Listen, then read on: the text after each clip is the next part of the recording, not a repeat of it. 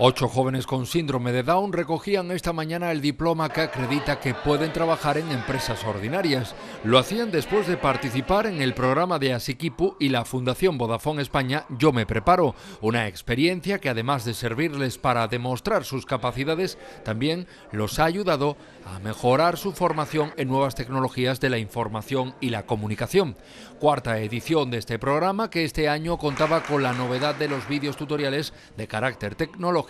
que ha desarrollado la Fundación Vodafone, como apuntaba la responsable de Administraciones Públicas de Vodafone España. Se han incorporado una serie de vídeos tutoriales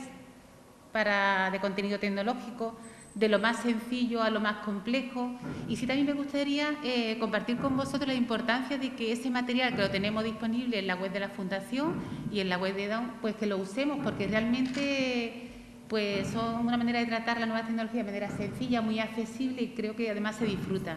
Por su parte, el alcalde de Barbate, Miguel Molina, mostraba su satisfacción por los resultados de este programa que tiene como objetivo hacer la vida más fácil y en la que han participado varias empresas de la localidad. Eh, enhorabuena a todos los, colectivos, a las asociaciones, a todos los que participan de manera activa o de manera eh, de apoyo eh, a, las a las instituciones a Vodafone, evidentemente, y a todas las empresas que estáis eh, colaborando y a los padres y las madres. Gracias a este programa, Yo me preparo, ha quedado más que claro que los jóvenes participantes están sobradamente preparados.